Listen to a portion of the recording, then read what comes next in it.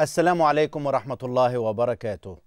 أحييكم على الهواء مباشرة وأرحب بكم في حلقة جديدة من برنامج بلا حدود. القارة السوداء إفريقيا يزداد بريقها وتلألؤها يوما بعد يوم بذهبها وألماسها ونفطها ومعادنها وموقعها الجغرافي وشعوبها المستكينة التي يأكلها الجوع والفقر والمرض والحروب. فتكالبت عليها القوى الكبرى كل يحاول أن ينال من خيرها بينما الجياع الحفاة العراة من أهلها. لا يجدون ما يسد الرمق أو يستر الجسد. وبعد عصور طويلة كانت السيطرة فيها على إفريقيا للجيوش الأوروبية من بريطانية وفرنسية وإيطالية وألمانية وبلجيكية وبرتغالية. دشنت الولايات المتحدة الأمريكية في الأول من أكتوبر الماضي وجودها العسكري الرسمي في إفريقيا عبر القيادة العسكرية الإفريقية الأمريكية أفريكوم. بعدما أصبحت القارة السوداء تمثل أهمية استراتيجية كبرى للولايات المتحدة كما تمثل لأوروبا. غير أن شريكا ثالثا آخر دخل بقوة إلى إفريقيا هو الصين. وبينما تتنافس الدول الإفريقية على من يحظى برضا الولايات المتحدة لتتخذ افريكوم مقرها فيها فإن خيرات القارة كانت ولا زالت منذ عشرات السنين لغير أهلها. الأفارقة الذين ينهشهم الفقر والجوع والحروب المدمرة التي تشعلها الدول المستعمرة. فالثروة النفطية والمعدنية في إفريقيا أسالت لعاب الجميع وفي هذه الحلقة نحاول فهم ما يحدث من صراعات على النفوذ في إفريقيا بين الكبار الولايات المتحدة وأوروبا والصين وحجم الأهمية الاستراتيجية والاقتصادية التي تتنامى لإفريقيا وأبعاد التدخلات الغربية في القرن الإفريقي ومشروعات التفتيت والتقسيم والتفكيك والتركيب الجديدة لبعض دول القارة مع ضيفنا الدكتور حمدي عبد الرحمن حسن خبير الشؤون والدراسات الإفريقية. ولد في محافظة المنوفية في مصر عام 1960 تخرج من قسم العلوم السياسية بجامعة القاهرة عام 82 بتقدير امتياز. حصل على الماجستير من جامعة القاهرة عام 85 وكانت أطروحته حول العسكر والسياسة في إفريقيا. ثم حصل على الدكتوراه عام 1990 من جامعة القاهرة وميريلاند في الولايات المتحدة حول الأيديولوجية والتنمية في إفريقيا. قام بالتأليف والمشاركة في تسعة عشر كتابا معظمها عن إفريقيا من آخرها إفريقيا وتحديات عصر الهيمنة أي مستقبل. ولمشاهدينا الراغبين في المشاركة يمكنهم الاتصال بنا على أرقام هواتف البرنامج التي ستظهر تباعا على الشاشة أو يكتبوا إلينا عبر موقعنا على شبكة الإنترنت www.aljazeera.net دكتور مرحبا بك. أهلا بك أستاذ أحمد. في نوفمبر من العام الماضي عقدت القمة الإفريقية الصينية في بكين. هيو جنتاو رئيس الصين قام بجولة إفريقية في يناير وفبراير وقبله قام رئيس الوزراء بجولة مشابهة. في مارس عقدت القمة الإفريقية الفرنسية في مدينة كان الفرنسية. في يونيو قام توني بلير بجولة في إفريقيا تبعته أنجيلا ميركل في أكتوبر. في ديسمبر الماضي عقدت القمة الإفريقية الأوروبية في لشبونة في البرتغال. ما هذا البريق الذي يجذب الجميع إلى إفريقيا؟ يعني أعتقد أنه ده بيعكس تزايد الأهمية الاستراتيجية للقارة الإفريقية. الحقيقة بعد انتهاء انتهاء الحرب الباردة ظهرت مقولة خاطئة هو تهميش القارة الإفريقية على حساب الاهتمام بدول شرق أوروبا ودول الاتحاد السوفيتي السابق. لكن ظهر بعد ذلك أنه أفريقيا تتربع في التفكير الاستراتيجي العالمي وبصفة خاصة بعد أحداث 11 سبتمبر سنة 2001 م. الدليل على ذلك أنه في مؤشرات كالتي ذكرتها حضرتك أنه هي في مركز الدبلوماسية العالمية يعني لا يخلو شهر إلا وتجد يعني مسؤول غربي أو شرقي أو حتى من, من أمريكا اللاتينية يزور القارة الإفريقية. ما هي عوامل الجذب التي جعلت هؤلاء يتجهون جميعا إلى القارة وبهذه الكثافة وبهذه القوة؟ أول عامل هو النفط الأفريقي. م. ليس فقط النفط وإنما الموارد الأخرى. أفريقيا غنية جدا بالنفط. آه، يعني حوالي 8 إلى 10% من الاحتياطي العالمي آه، من النفط موجود في القارة الإفريقية. لكن طبعا ده ممكن ينظر إليه على أنه ليس كمية كبيرة.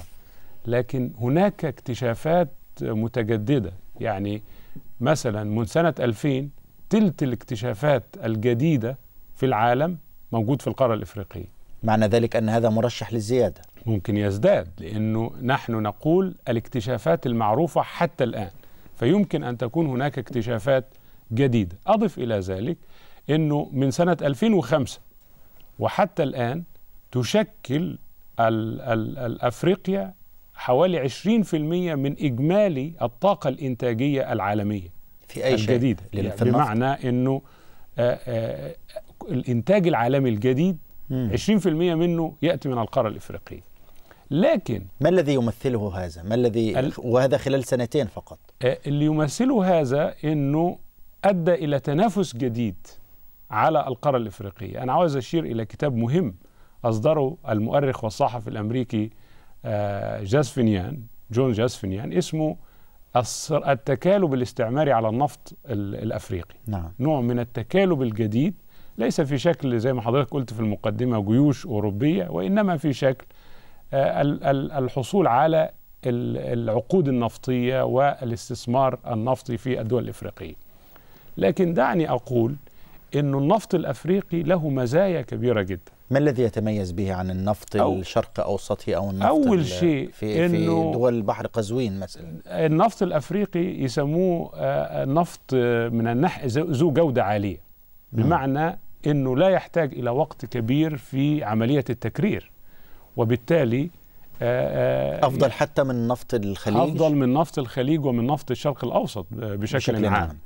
الأمر الثاني إنه النفط الأفريقي قريب من موانئ التصدير الأوروبية. يعني أغنى منطقة في إفريقيا هي منطقة خليج غينيا. نيجيريا منطقة وهذه هي. تبدأ من طب آه، لأن حتى نضع المشاهد في شكل آه، رتبنا بعض الخرائط حتى يعيش في الصورة. الخريطة الأولى بتظهر إفريقيا من بين دول العالم وع- وعملية التكالب أو التوجه التام. يعني بالنسبة لهذه الخريطة هنجد أنه في قوى أخرى جديدة.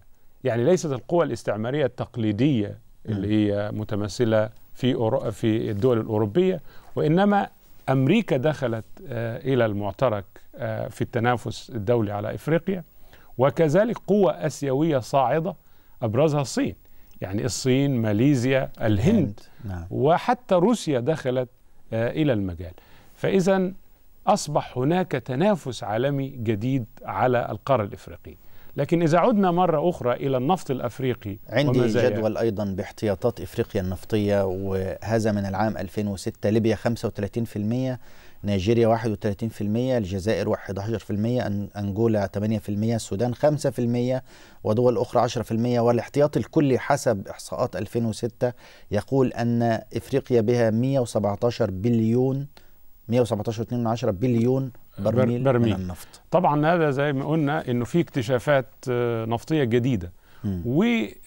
وميزه النفط الأفريقي إنه بيقع في المناطق المياه العميقة. يعني يعني ليس في الداخل. نعم. وده بيمثل ميزة أيضا. ليه؟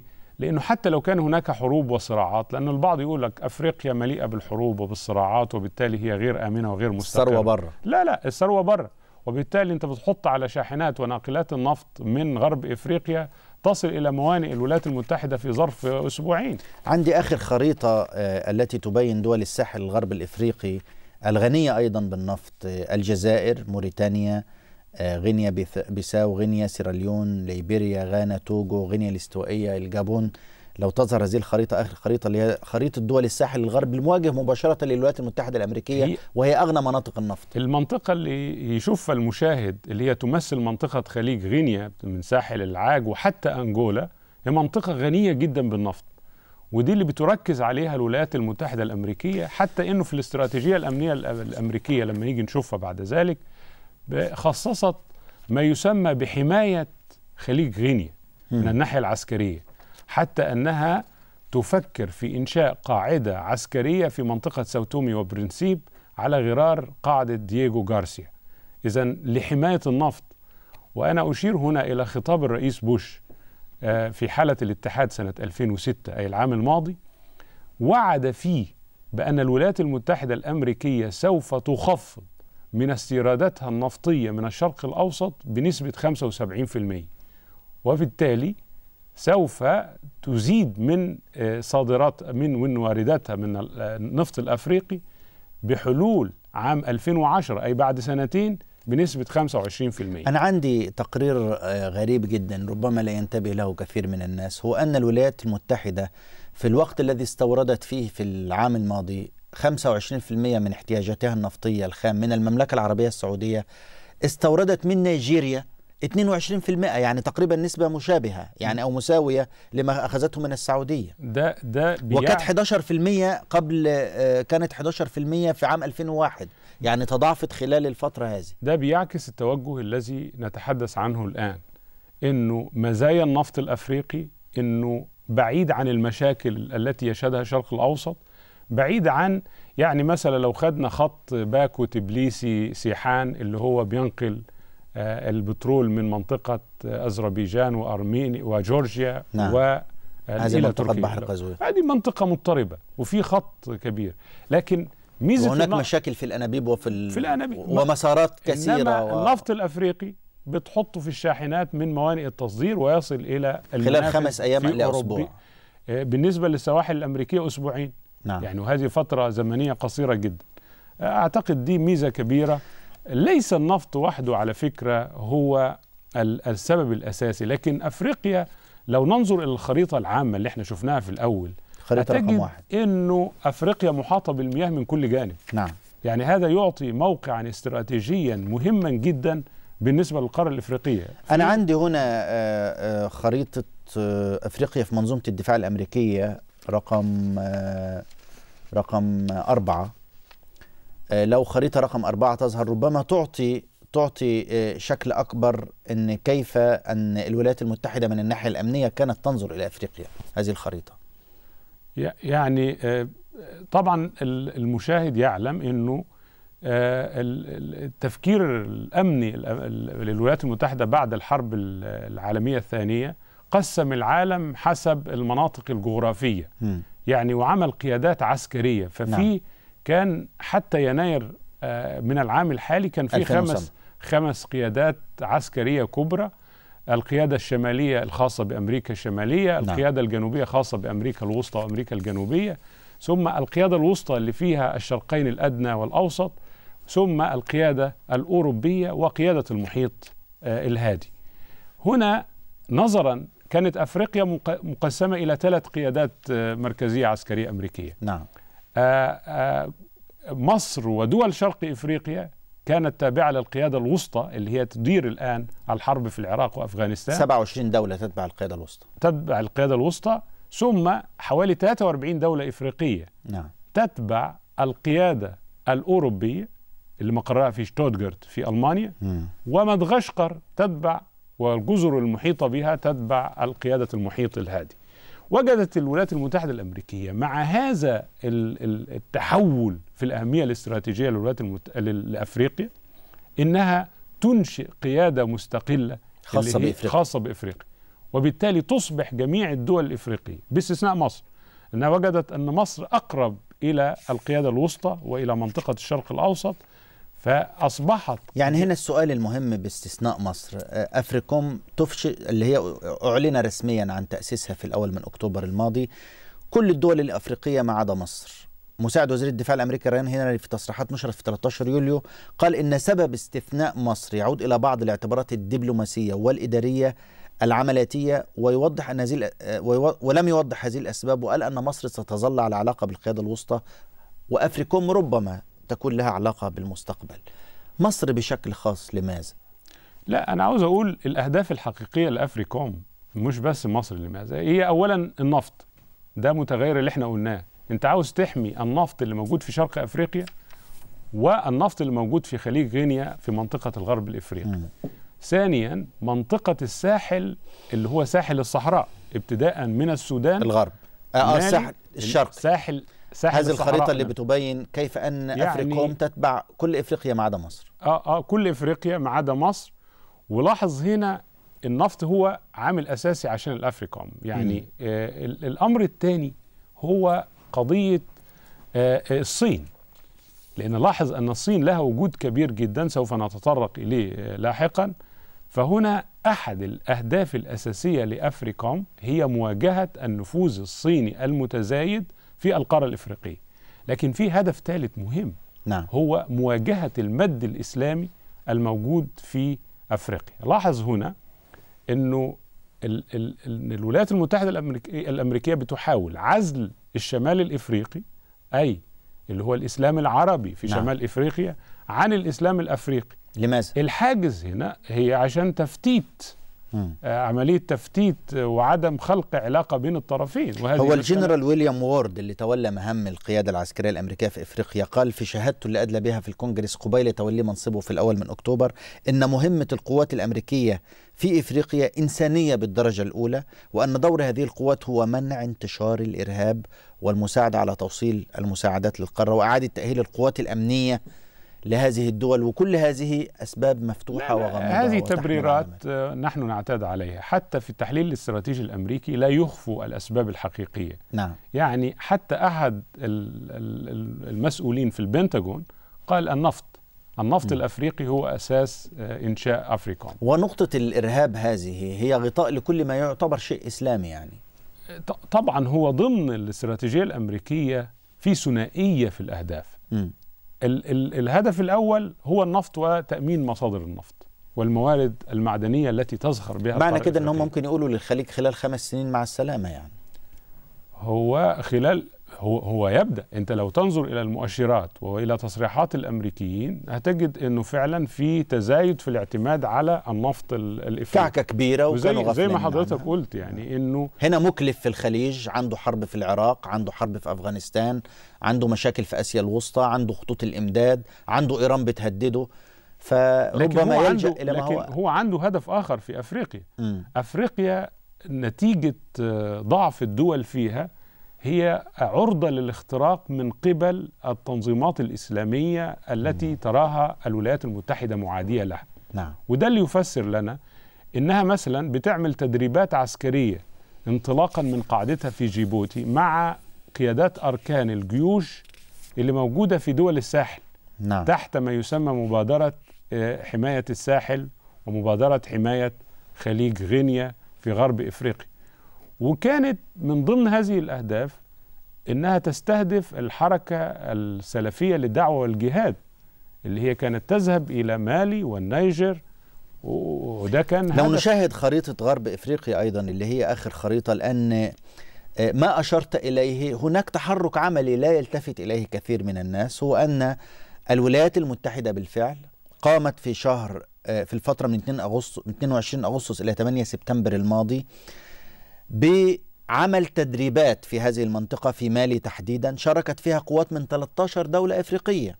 آه، منها دول إفريقية بدعوة محاربة الإرهاب المغرب موريتانيا الجزائر تشاد مالي بوركينا فاسو السنغال النيجر وشاركت دول أوروبية زي هولندا بريطانيا فرنسا. وقالوا أن الهدف من هذا التدريب هو أن تكون هذا نواة لما يسمى ما أشرت إليه أي مد إسلامي لكن قالوا هو تأمين وصول المساعدات إلى دول هذه المنطقة. هل أفري أمريكا هنا تريد تأسيس جيش إفريقي؟ خاصة أن هناك تصريحات لوزير الخارجية المصري في قمة أديس أبابا قال سيشكل فيلق إفريقيا أو لواء إفريقي أمريكا تضغط في تشكيله. هي أن أمريكا لا تغرز نفسها في حروب في هذه المنطقة وإنما تستخدم جيوش هذه الدول. والأجهزة الأمنية فيها تقوم بتدريبها وهي تنوب عن الولايات المتحدة في تحقيق أهدافها. هي الفكرة الأمريكية إن يكون لها وجود عسكري لكن له ليس وجودا كثيفا.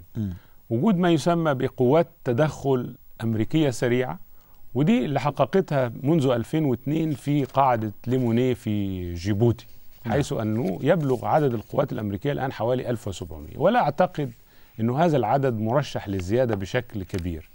إنما هي حتى لو شفت في هيكلة آه، الافريكوم إنه عادة القيادات المركزية بيرأسها جنرال آه، بأربع نجوم. هو جنرال فو- نجوم. آه لكن نائبه من وزارة الخارجية في حالة افريكوم نعم. يعني اذا هي أسندت مهمة سياسية ودبلوماسية ليه؟ لأن هي هتتفاوض مع هذه الدول للدخول في اتفاقات عسكرية. يعني عاوزة مفاوضات في هذه الحالة. وبالتالي هتعتمد هي على بدأت تجمعهم بالفعل. بدأت لعمل أحلاف حتى واتفاقات من وتدريبات. قبل إنشاء أفريكا. نعم. هي قامت بعقد اتفاقات لتسهيل حتى التدخل والتدريب من جانب القوات الأمريكية لجيوش هذه الدول. أنا لقيت تعبير دقيق جدا يا دكتور لكلامك ده. قالته نائبة وزير مساعد وزير الدفاع اسمها ثيبريسا ويلان في تصريحات نشرت في منتصف أكتوبر قالت لا يجوز أن نكون نحن باستمرار فرقة للإطفاء. فليس لدينا القدرة على الجري من مكان لمكان من مكان إلى آخر لحل الأزمات عن الآخرين. على الآخرين أن يكونوا فرقة الإطفاء الخاصة بهم لكننا نستطيع أن نساعدهم على تطوير قدراتهم. هل هذا ينطبق مع آه، آه، نص مهمة الأفريكوم الذي أشرت إليه؟ لا يعني هي شوف أمريكا لها خبرة سيئة في أفريقيا. مم. ونتذكر سنة 93 عملية الصومال. وإسقاط ال Black Hawk. وهذا المشهد السيء في أذهان الأمريكيين وبالتالي هي لا تريد أن تكرر هذه التجارب وتقع في المستنقع الأفريقي حتى لما حاولت تتدخل في الصومال تدخلت من خلال وكيل إقليمي وهو. إثيوبي هي لكن أنا لقيت نيوزويك في عدد 18 سبتمبر بتقول أيضا أن تدخلها في إثيوبيا يعتبر تدخل فاشل وأخفقت أيضا للمرة ال- ل- في الصومال عفوا وأخفقت للمرة الثانية رغم استخدامها لوكلاء ينوبوا عنها إحنا يمكن لما نعود إلى سيناريو التفكيك ونشوف نتائج هذه السياسات. سواء كانت سياسات الولايات المتحدة أو الصين لكن لو لا- عدنا الآن لنجمل المهمة الأساسية لقوات أفريكوم وتأثيرها على القارة ودخول الولايات المتحدة الآن كشريك آه، لأوروبا لأن الجيوش التي كانت موجودة قبل ذلك كلها في إفريقيا كانت جيوش أوروبية. الآن ستتواجد أمريكا بشكل أو بآخر بشكل عسكري. ما تأثير هذا على القارة؟ طبعا هو آه، إعادة تقسيم القارة مرة أخرى بين آه، نفوذ قوى جديدة. يعني آه، النفوذ الأمريكي من حصة من ستأخذ أمريكا؟ آه، في تراجع طبعا على حساب آه، الولايات. آه، بريطانيا وفرنسا يعني هنا أعتقد ده يكون على حساب أوروبا آه، آه، لأن هي عملية تنافس اللي بيكسب فيها هو اللي بيفوز بالقدر الأكبر من الخيرات ال- القاعدة الإفريقية. التي أشرت إلى وجود الأمريكيين فيها في, في جيبوتي. هي قاعدة فرنسية أصلا هي قاعدة فرنسية لكن آه، استخدمها الأمريكيين مم. هل هناك توافق ما بين فرنسا وما بين الولايات طبعا المتحدة؟ في في في آه، زي ما زي ما كان في اتفاق فاشودة مثلا آه، لهذا في توافق بين الدول الكبرى على اقتسام النفوذ والسيطرة نعم. ويمكن ده ينقلنا إن الفرنسيين ما زال لهم قاعدة موجودة في تشاد ولهم مصالح معينة وده اللي بيفسر لنا الموقف الدولي والأوروبي من أحداث دارفور. الآن لو جئنا إلى الطرف الثالث وهو الصين. الصين عقدت قمة في نوفمبر في نوفمبر من العام الماضي حضرها 40 زعيم آه، إفريقي أو رئيس وزراء ووصفت بأنها قمة غير مسبوقة. قدمت الصين نفسها للدول الإفريقية على أنها ليست دو- دولة استعمارية. وليست آه، دولة آه، يعني تنهب خيرات إفريقيا وإنما هي دولة شريكة مع الأفريقيين وقدمت مساعدات وشراكات مع حوالي أكثر من 20 دولة إفريقية إلى الآن. إيه أهمية هذه القمة؟ وما الذي تلعبه الصين في إفريقيا الآن في آه، الصراع على مناطق النفوذ مع الولايات المتحدة وأوروبا؟ الصين الصين أصبحت ثالث شريك تجاري لأفريقيا. يعني كيف؟ بعد الولايات المتحدة الأمريكية وفرنسا ويعني أنها تسبق آه، آه، المملكة المتحدة بريطانيا.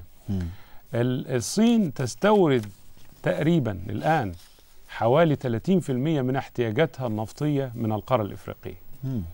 وبالتالي لو شفنا من ت- 99 كان آه، مجمل التبادل التجاري للصين مع أفريقيا 2 مليار دولار. فقط. فقط. الآن 40 مليار دولار مرشح لأن يصل سنة 2010 إلى 100 مليون مليار مليار. دولار يعني قفزات في قفزات كبيرة نعم. جدا تؤكد اولا تاريخ الصين مع أفريقيا هو تاريخ باعتبارها دولة نامية مم. وكان منذ مؤتمر باندونج سنة 55 كانت الصين بتتمسك بمقولات أيديولوجية معينة مساندة الدول النامية حركة عدم الانحياز إلى آخره من المقولات لكن في آخر التسعينيات بدأت سياسة براغماتية جديدة في الصين تؤكد على أهمية تحقيق الأمن أمن الطاقة بالنسبة للصين. وأمن الطاقة هنا إنها الاقتصاد الصيني اقتصاد نامي وينمو بسرعة عالية جدا. نعم. فهو في حاجة إلى النفط. فبدأ ما يسمى بالسياسة النفطية أو دبلوماسية النفط الصينية في أفريقيا. بعض الدراسات التي كانت أشارت إلى التدخل الأمريكي في العراق وفي أفغانستان والقواعد الموجودة في آسيا الوسطى أن الولايات المتحدة تريد أن تحاصر ليس فقط الهيمنة والسيطرة على نفط هذه الدول ولكن تريد أن تتحكم في كمية النفط التي ستذهب إلى الصين وإلى الهند التي تشهد نوع من النمو الهائل وتكون مرشحة للتنافس خلال عشر سنوات أو 15 سنة مع الولايات المتحدة. على فكرة في إفريقيا ما هو الوضع الآن؟ على فكرة إحنا لو شفنا الاحتياطات النفطية هتجد أن دول شمال أفريقيا فيها احتياطات كبيرة. م. يعني من الناحية الواقعية الهيمنة ما تزال للشركات الأوروبية والأمريكية على النفط الأفريقي إذا نعم. حسبنا الشمال. نعم. لكن هي ليبيا لوحدها 35% لكن من هي المشكل إنه في دراسة حس... وقعت أو دراسة اتعملت في معهد كارنيجي هذا العام. تبين إنه في بعض المبالغة والتهويل في الوجود الصيني في القارة الإفريقية. م. إنه الغرب بيستكثر إنه الصين تدخل وتحصل على هذا النصيب الكبير. لكن هي مش بس قضية نفط. لكن الإعلام الأمريكي فيه تسليط ضوء كبير العدد الأخير من نيوزويك كله على الصين وعلى ما يمكن. أوروبا مم. الولايات المتحدة جميع مراكز الأبحاث هتجد دراسات تتحدث عن الاختراق الصيني الأفريقي. الصين ونفط أفريقيا. الصين وتزايد النفوذ. ما يسمى بالتوجه شرقا لأنه الصين بالنسبة للأفارقة وبالنسبة لكثير من النظم هي حليف مأمون الجانب. مم. اولا هي ليس لها خبرة استعمارية. ثانيا لا تهتم بالقضايا السياسية ولا المشروطية السياسية ولا قضايا الفساد ولا الشفافية. الأمر الثاني بالنسبة للسياسة الصينية إنها تساعد في مشروعات البنية الأساسية نعم. بتكلفة قليلة جدا. يعني الصينيين عندهم خبرة في إنشاء الطرق. المصانع الحديدية السكك الحديدية الاستادات الرياضية المباني الحكومية. وبيدخلوا بتكاليف قليلة جدا. تقل 25% إلى 50% وأنا ذكرت في أحد الدراسات عن نظيرتها اليابانية والأوروبية. بنفس المواصفات. والامريكي بنفس المواصفات. ثانيا لأنه معظم الشركات الصينية هي شركات حكومية. والناس يجوا on the spot يقعدوا في الموقع وبتكلفة قليلة جدا لديهم يعني تصميمات واحدة standard يقوموا بها. وبالتالي الافارقه بيجدوا في الصينيين يعني حليف أسهل من الأوروبيين لكن أيضا الأمريكيين. أيضا يا دكتور معظم الدول الإفريقية الحليفة مع الولايات المتحدة وأوروبا دخلت في شراكات أيضا مع الصين يعني عندي الجدول رقم ثلاثة الآن بيبين الدول الإفريقية اللي تعاقدت مع شركة النفط الوطنية الصينية م. الجزائر موريتانيا أنغولا النيجر تشاد نيجيريا ساحل العاج ليبيا غينيا الاستوائية برنسب الجابون الصومال كينيا السودان ساوتومي برنسب. كل هذه دول لها شراكات قوية جدا مع الدول الأوروبية. عندي هنا النيجر التي نيجيريا عفوا التي تأخذ الولايات المتحدة 22% من نفطها منها.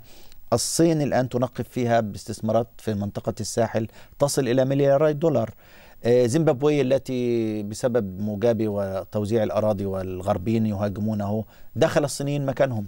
فمعظم الأماكن التي فيها حتى الصينيين في إثيوبيا في طبعا 90% من نفط السودان هم يحصلون عليه الصينيين. فالصين الآن داخلة في كتفا بكتف مع الولايات المتحدة والغرب في كثير من الدول. هي أكثر ثلاث دول يمكن مهمة جدا هي السودان. السودان م. نتيجة العزلة التي فرضتها الولايات المتحدة والدول الأوروبية عليها بنجد انه النفط السوداني تقريبا حوالي 60% يذهب إلى الصين. يعني الشركة الكبرى اللي هي شركة النيل الأعظم هتجد الحصة الكبيرة هي لشركة النفط الوطنية الصينية ثم نعم. شركة بتروناس الماليزية وكذلك شركة هندية. إذا كلها شركات آسيوية. فازت الصين أيضا بعقد كبير في نيجيريا. نيجيريا دولة مهمة جدا وكذلك في أنجولا يعني لاحظ أن الدولتين اللي هم غير عربيتين أعضاء في منظمة آه، الأوبك المصدرة للنفط هم آه، نيجيريا وأنجولا أنجولا نعم. أحدث دولة إفريقية تنضم إلى آه، منظمة الدول المصدرة للنفط. إذا الصين بتحاول هنا تقدم سلاح المعونات والمساعدات غير المشروطة بشرط إن هي تاخد حصص نفطية. غير ل غير 27 دولة إفريقية. آه غير مشروطة سياسيا. نعم. لأنه الغرب دائما يطرح قضية حقوق الإنسان بس لم. يعد هناك حقوق إنسان الآن في ظل التحالف الموجود بين الولايات المتحدة ومعظم الدول القمعية يعني عندي هنا الدول المرشحة كلها لاستضافة أفريكوم إذا رجعنا لأفريكوم كلها دول استبدادية وكلها دول قمعية آه، يعني الولايات المتحدة دخلت في شراكة مع هذه الأنظمة القمعية كلها من أجل أن هذه الدول هي التي ستضمن آه، آه، تقديم هي- هي المساعدات مصالح يعني. مثلا على الرغم من التحولات اللي حدثت في موريتانيا. البعض طرح موريتانيا نعم. رغم إنه يصعب الآن وصف نظام الحكم في في موريتانيا بانه استبدادي ف... ما ما. يعني بالنسبة لأفريكوم الآن آه، آه، آه، لو رجعنا ك- كمنطقة لل- أو أو مرتكز جديد للصراع العسكري أو المخططات للهيمنة على القارة ما هي أهم الدول المرشحة في ظل أن هناك قلق من 14 دولة إفريقية في الجنوب من وجود قوات أمريكية في إفريقيا؟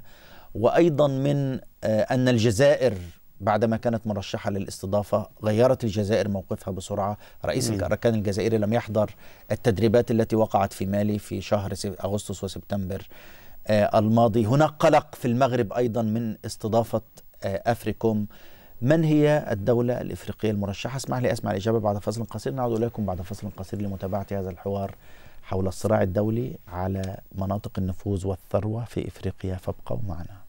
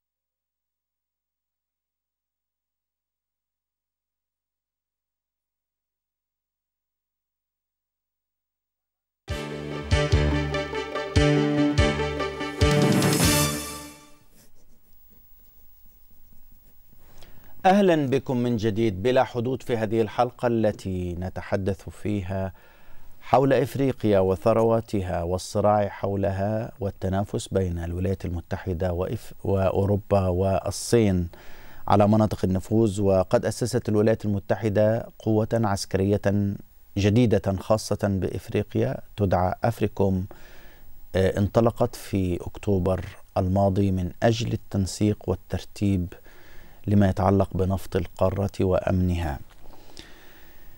أفريكوم الآن هي مثار النقاش ال- الكبير. لا زالت لم تتخذ مقرا في إفريقيا وتعتمد على ستوتغارد إلى الآن كمنطقة للتحرك.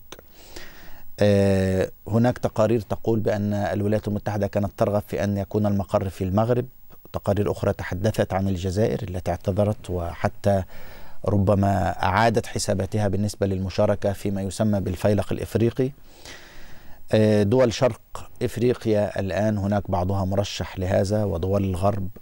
من هي الدولة المرشحة؟ طبعا هو في بعض القيادات العسكرية الأمريكية مقرها داخل أمريكا. لكن آه، الولايات المتحدة ترغب أن تكون قيادة أو مقر قيادة آه، أفريكوم داخل أفريقيا. ولا يوجد حتى الآن استقرار في الفكر الأمريكي حول المكان يعني هناك رغبة أن يكون في غرب إفريقيا في منطقة غينيا خليج غينيا مم. الغنية بالنفط هناك من يتحدث عن شمال إفريقيا وأن تكون دولة عربية وده اللي طرح أسماء دول مثل الجزائر والمغرب آه وهناك الآن من يتحدث عن جيبوتي وأنه مم. القوات أصلا موجودة في آه جيبوتي وبالتالي جيبوتي ليس لديها قاعدة مانع متحركة مع وليس. لديها مانع من عبرت جيبوتي عن طريق وزير خارجيتها أنها لا لا تمانع في استضافة مقر القيادة العسكرية الجديدة. لكن أعتقد ما هو الحرج لدى الجزائر والمغرب؟ الحرج هو عوامل يعني في اعتقادي الشخصي أنها عوامل داخلية. مم. يعني ال- ال- الجزائر آه، تعاني من الحركات الإسلامية المتشددة وعادت مرة أخرى عمليات آه، تفجيرات واستهداف الحكومة من جانب ال- ال- ال- الجماعات الجهادية. المغرب بعدما كانت تتغنى أنها بعيدة عن هذه الأعمال العنيفة آه، وقعت ضحية أيضا لأعمال آه، تفجيرات الدار البيضاء. فإذا أعتقد أنها شعرت بالحرج من استضافة أنه ده نوع من الصداع وأنها غنية عن هذا أنها تقوم بالتنسيق مع الولايات المتحدة وأنها طرف في الاتفاقات العسكرية آه، عمليات التدريبات والمناورات المشتركة. فيعني أعتقد أنها ترى أنها بمنأى عن أن تستضيف قاعدة آه، عسكرية أمريكية على أراضيها. اسمح لي ببعض الأسئلة من المشاهدين. رضوان الكومين من اليمن سؤالك يا رضوان. السلام عليكم. وعليكم السلام ورحمة الله. الاسم رضوان سنة هذه الكمين تفضل. آه، أخي أحمد آه، أريد أن أسأل الدكتور حمدي عن الصين بأنها نجحت عن غيرها من الدول الغربية في في القارة الأفريقية بسبب مرونة سياستها ودعمها اللامشروط ولكن كيف ستنجح الصين في الهيمنة الاقتصادية في ظل وجود القواعد الأمريكية في المنطقة مما يقلل تأمين الحركة الاقتصادية بين الصين وهذه الدول؟ شكراً. المسائل الحديثة من الدول الأوروبية هل لأجل النفوذ السياسي أو مغزى عقائدي أم لأجل النفط؟ أم لاستغلال الشعوب شعوب قارة أفريقيا لفقرهم ودعوتهم لديانتهم وتفكيرهم تحت شعار مساعدة الإنسانية عبر المنظمات المعروفة بأهدافها. شكرا لك. شكرا لك. حماد المشهور من فرنسا سؤالك. حمادي. مساء الخير يا أستاذ. مساك الله بالخير يا سيدي. أه سؤالي لضيفك الكريم. هي القارة الأفريقية نعرفها بخيراتها الكثيرة ولكن هل لها من عقول يمثلها في اتجاه الصحيح أم لا؟ والسؤال الثاني لماذا هذه التبعية دائما للمؤتمرات في لشبونة وخارج أفريقيا وخارج العالم العربي؟ وشكرا. شكرا لك. فهد عبد الحي من الكويت سؤالك يا فهد؟ أستاذ أحمد السلام عليكم. وعليكم السلام ورحمة الله. أنا سعيد جدا إني معكم على ال- على أهلا قناة بك الجزيري أهلا بك سؤالك؟ والجزيرة اللي كان في الأهرام بمصر فالجزيرة سؤالك إن شاء الله. سؤالك سؤالك شكرا. السؤال لل- للأستاذ حمدي فرصة سعيدة. أستاذ حمدي إنه أنا أتشرف إني أسأل لحضرتك آه، أستاذ حمدي بالنسبة للسؤال هل دور مصر كثقلها في افريقي هكون لها حصة للهيمنة نفس آه، أوروبا والدول المتقدمة؟ طبعا لا. فبالنسبة لل- للوضع الأفريقي هل بالنسبة للمرموقين زي حضرتك إن شاء الله يكون لهم دور للسياسات وتو- وتو- وتوضيح ال- الشعب الناس المساهمين شكرا لك يا طلعت حرب. معلش لا أستاذ أحمد لو سمحت ما فهمت. سؤالك فهمت سؤالك. شكرا لك محمد حمزة السودان. سؤالك يا محمد؟ تفضل. مساء الخير. مساك الله بالخير يا سيدي. آه لو سمحت يعني ال- سؤالي بيتعلق ب- فيما يخص آه، أفريقيا منذ الاستغلال. يعني الغاد الأفارقة يتحدثوا عن آه، ال- الاستعمار والاستعمار القديم ثم مرة أخرى كان الحديث عن الاستعمار الحديث في شكل الاقتصاد وكذا. فالسؤال هل في إمكان أن آه، يكون القاده الأفارقة عندهم شجاعة باعتبارهم يتخذوا قرار بقيام وحدة اقتصادية أفريقية بحيث إنه تجعل أفريقيا إنها تتقدم وتمشي إلى الامام بغض النظر عن الأمور عن عن الوضع السياسي الغائم في القاره من مشاكل ومن كذا. شكرا لك. أنا ربما السؤال المهم من حماد المشهور لماذا كل هذه المؤتمرات عن إفريقيا؟ آه وهل هناك عقول إفريقية أيضا تستطيع أن تنقذ القارة بدلا من أن القارة, القارة الآن عاملة زي الفريسة اللي الكل بينهش فيها؟ طيب وأين أصحاب هذه الفريسة؟ البعض بيتحدث عن إنه النفط نقمة بالنسبة للأفارقة لم يستفيدوا به يعني يكفي يعني نيجيريا هذه نيجي- الدولة الغنية أقول- حجم الفقر فيها أقول لحضرتك نيجيريا والحروب. بمناسبة نيجيريا 45% من البترول النيجيري يسرق ما يسرق. بين عصابات في منطقة دلتا النيجر يسرقوا النفط من أنابيب النفط وبالتالي آه، في فساد ضخم جدا مم. بالنسبة للنفط الأفريقي أنت بتتكلم عن 45% يعني نص- نصف ثروة البلاد يعني آه إذا خدنا إذا استثنينا دول شمال إفريقيا 51% من الأفارقة يعيشوا تحت خط الفقر رغم هذا الثراء الكبير الأخ الذي تحدث عن العقول الإفريقية الجامعات وفقا لبعض الإحصائيات مم. 23 ألف محاضر إفريقي يترك جامعاته في أفريقيا ويهاجر إلى الخارج سنويا.